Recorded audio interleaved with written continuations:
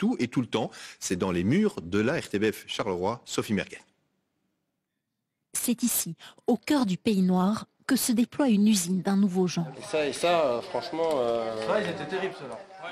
Média Sambre Factory, un véritable laboratoire pour développer les médias du futur.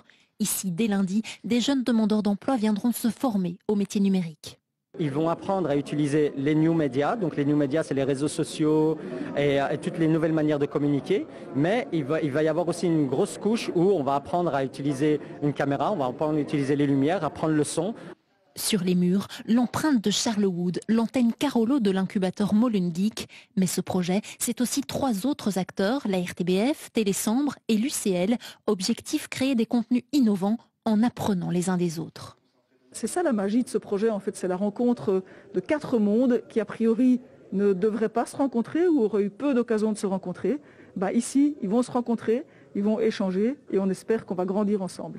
On est dans une euh, logique aujourd'hui d'entreprise apprenante. Il y a des acquis qui sont des acquis qui sont dans notre ADN, mais il y a des pratiques, des outils, des manières de faire, des plateformes de diffusion, au-delà de la radio et de la télé, que les jeunes maîtrisent parfois mieux. Les étudiants de l'UCL viendront aussi en formation ici pour des cours beaucoup plus pratiques. L'image de la tour d'ivoire, pour moi, elle est terminée. Notre volonté, c'est à la fois bien sûr de faire de la recherche, mais aussi que ça ait des retombées directement en termes de développement socio-économique de la région. Média Sambre Factory a l'ambition de devenir un hub incontournable pour faire rayonner Charleroi, pourquoi pas à l'échelle européenne?